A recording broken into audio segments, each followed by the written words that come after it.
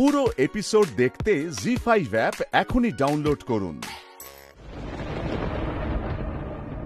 প্রমাণ তো হচ্ছে এটা বারবার যে সুরমণ্ডলের মেয়ে এ বাড়ির ওপর যে কত বড় প্রতিশোধ নিচ্ছে সেটা কেউ ধরতে পারছে না।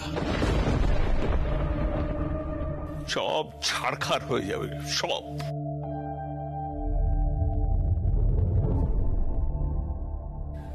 বাবা মামুনি, আমরা সকলে কিন্তু আসল কথাটা থেকেই সরে গেলাম। রঞ্জা অজ্ঞান হওয়ার আগে একটা গন্ধ পেয়েছে।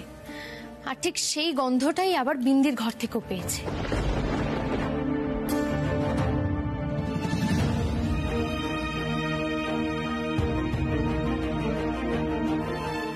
এটা কি শুধু ঘটনাচক্রেই হলো?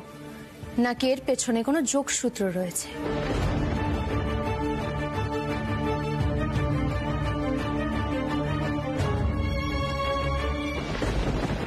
আমার তো মনে হচ্ছে এই পুরো বিষয়টা পুলিশের দেখা উচিত। তাই না, বিন্দি?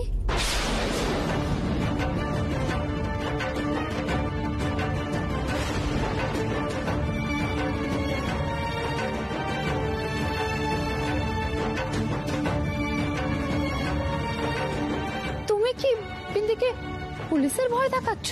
হ্যাঁ? আরে বাবা, আমি তোমাকে ভয় কোথায় দেখাচ্ছি? কিন্তু পুলিশের কথা শুনে তুমি যদি ভয় পেয়ে যাও, তাহলে আর কে কি করবে, তাই না? আমি শুধু বলছি, এই পুরো বিষয়টা আমাদের পুলিশকে জানানো উচিত।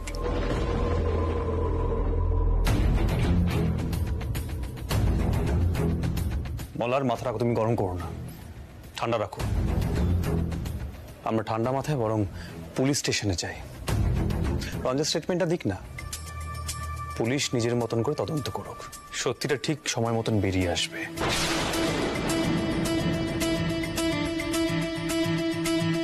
একটা কথা বলি জেঠছি পুলিশ যদি তহকিকাত শুরু করে, তাহলে কিন্তু মল্লারও বাঁচবে না।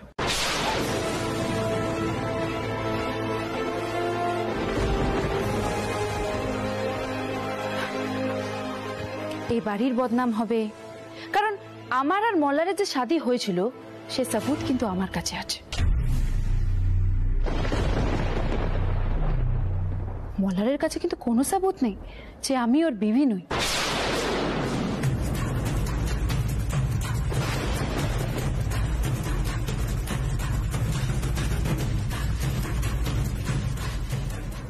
দাদাজি, ইসিলিয়ে ইসিলিয়ে যখন পুলিশ এসেছিল না, আমি ওনাদের সামনে আসিনি।